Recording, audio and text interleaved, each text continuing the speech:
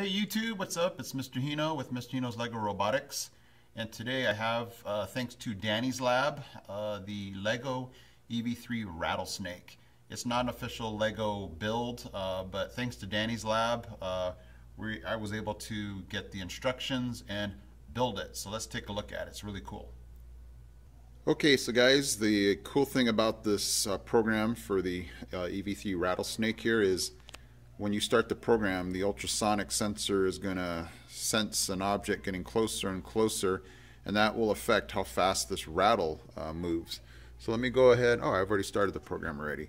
So I'm going to have my hand out here, and then you can see that it's slowly uh, shaking. And as I get closer, it's going to get faster. So I'm moving it in closer. Let me see if I can get my hand in the shot here. And as I try to get even closer,